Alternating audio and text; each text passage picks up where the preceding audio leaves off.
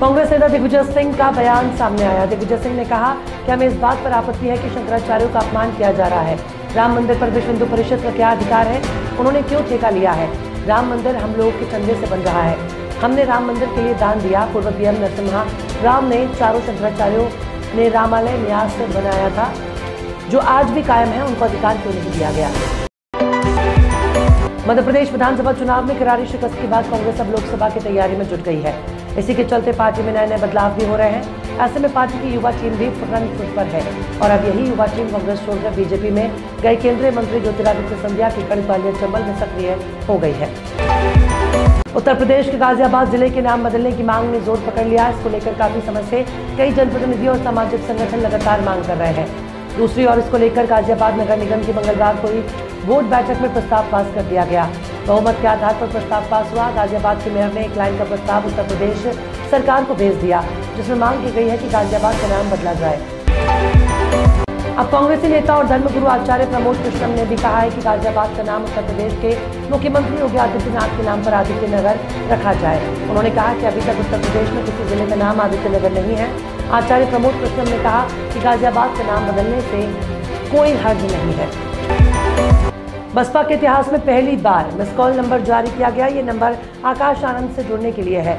चूँकि वे बसपा सुप्रीमो मायावती की घोषित उत्तराधिकारी है तो ये टीम पार्टी के लिए भी काम करेगी। आकाश आनंद की अगुवाई में लोकसभा चुनाव से पहले बीएसपी नई शक्ल लेती दिख रही है।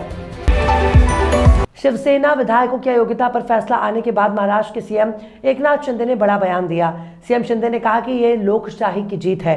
हमारे तमाम कार्यकर्ताओं की जीत है। हमारे बाला साहब ठाकरे जी और आनंद दिगे जी के विचारों की जीत है। इसलिए मैं इतना ही कहूँगा कि कल लोकशाही की जीत हुई है, सत्य की जीत हुई है।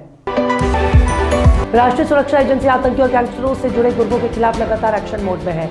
गुरुवार को एनआईए ने दिल्ली, हरियाणा और पंजाब की बत्तीस जगहों पर छापेमारी की है। एनआईए ने हरियाणा के सोनीपत ज़िले के सोसा गाँव और कड़ी सिसाना में भी रेड मारी।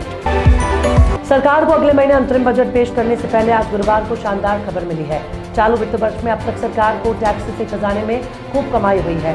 ताज़ा आंकड़ों के अनुसार, चालू वित्त वर्ष में अब तक सरकार का डायरेक्ट टैक्स कलेक्शन उन्नीस फ़ीसदी बढ़ा है और चौदह दशमलव पाँच शून्य लाख करोड़ रुपए के पार निकल गया।